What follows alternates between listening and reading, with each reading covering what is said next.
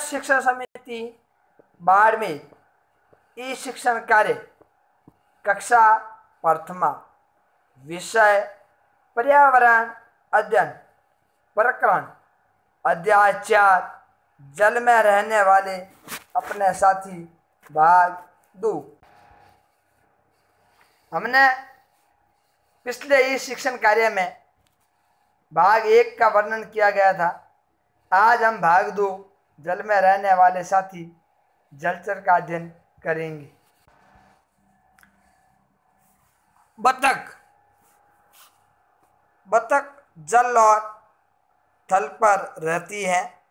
बतख की गर्दन लंबी होती है। बतख के पंजे चौड़े होते हैं। बतख मछली खाती है।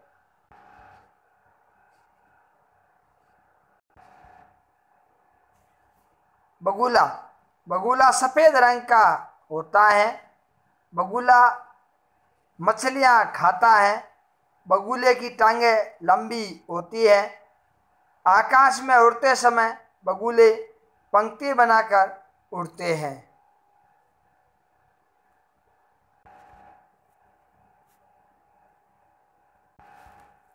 तीसरा भाग,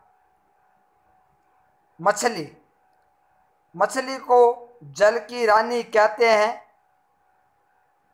मछली पानी के बिना जीवित नहीं रह सकती है। मछली छोटी और बड़ी कई प्रकार की होती है। मछली से हम स्वदेश प्रेम सीख सकते हैं।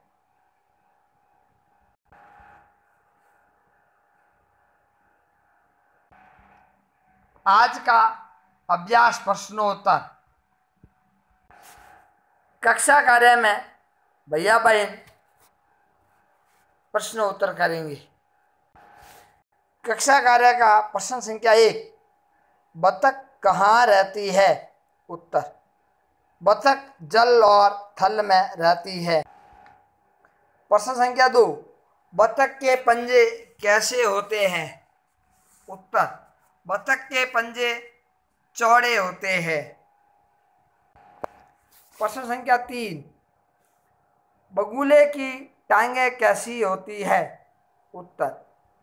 बगुले की टांगें लंबी होती है। प्रश्न संख्या चार। बगुले पंक्ति बनाकर कब उड़ते हैं? उत्तर।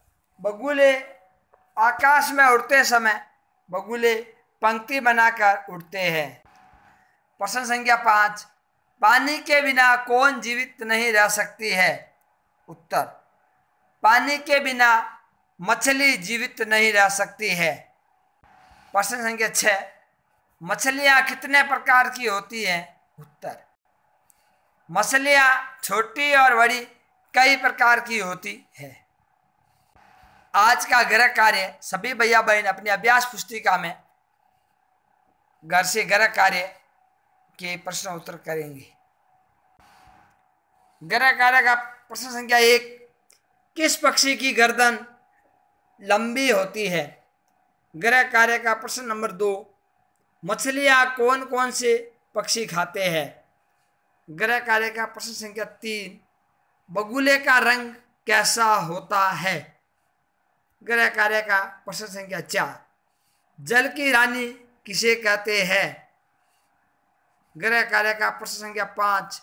हम स्वदेश प्रेम किससे सीख सकते हैं? सभी भैया बहन, इन सभी प्रश्नों के उत्तर घर से लिखेंगे। धन्यवाद।